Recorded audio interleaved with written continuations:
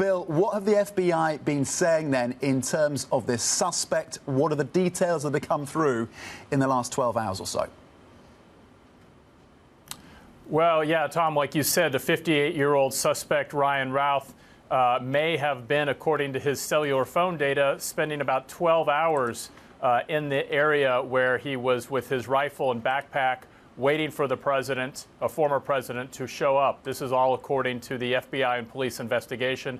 They also found that the vehicle he was captured in about an hour after a Secret Service engaged him uh, had license plates that were stolen from another vehicle. Uh, so a lot of details still emerging. He's initially been charged with two counts.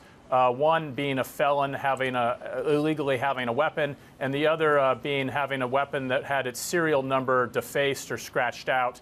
Uh, I suspect we'll get a lot more details on additional charges over the next week or two. Uh, but the FBI is still now looking very deeply into his social media presence to see if there's anything more they can learn about his motivations. Bill, to what extent has this episode readjusted or at least led to changes in terms of the, the, Trump campaign?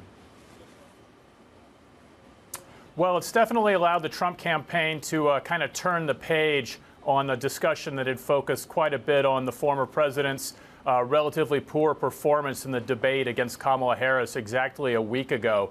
Uh, Republicans are focused, uh, or, or, Trump has focused more on saying that uh, the Democratic rhetoric has led to uh, this second assassination attempt on him.